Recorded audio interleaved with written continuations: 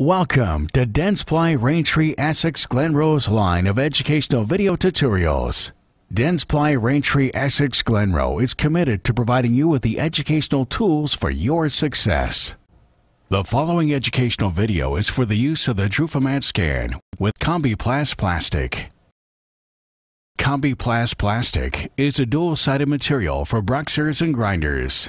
The hard side provides strength for patients who clench or grind their teeth, while its soft side prevents contact with opposing teeth, relieving some of the pressure of grinding and clenching.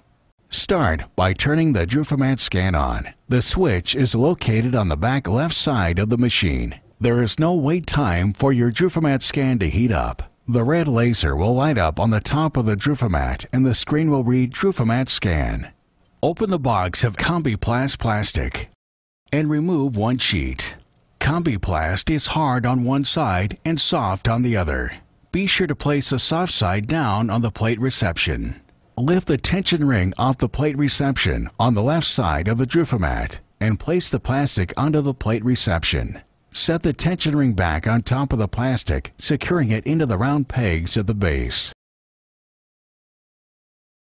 To help avoid broken models, residue from the stone, and any distortions to your appliance, spray the model with a Trim Right Release Agent by Dentsply Raintree Essix.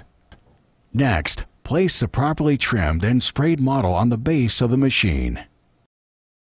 Using the lever on the left side, move the tension ring towards the base, lining up under the chamber. Using the lever on the right side, move the heating element over the plastic and under the chamber. Using your Essix plastic guide that was delivered with your Drufomat scan, select the appropriate size of Kombiplast plastic and place the barcode over the scanning element.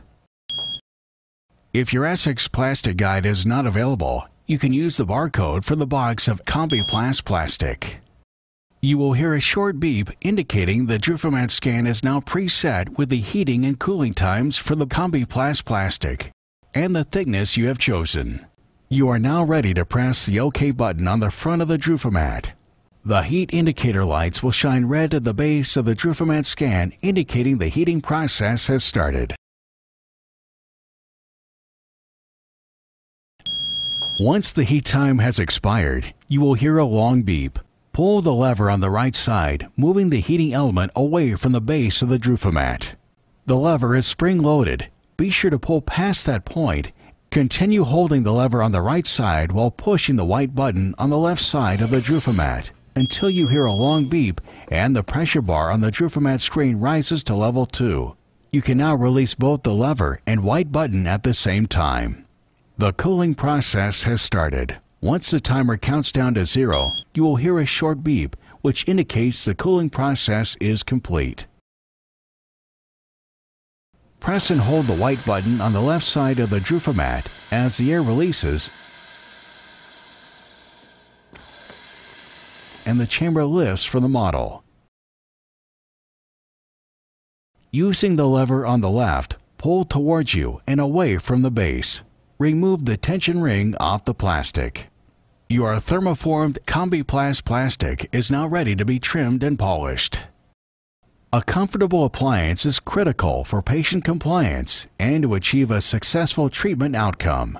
Using the right tools when trimming and polishing your appliance helps to assure the best possible fit. Starting with universal shears, trim the excess plastic around the model, cutting straight across the back edge and near the base around the model.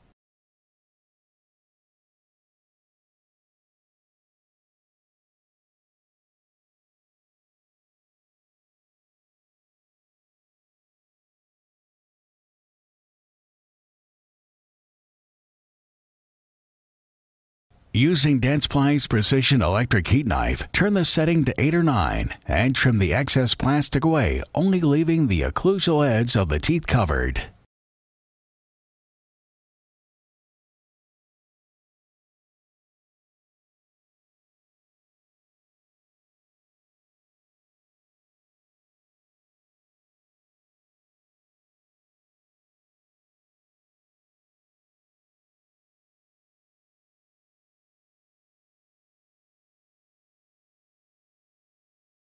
Peel away the excess plastic from the outer layer of the labial surface.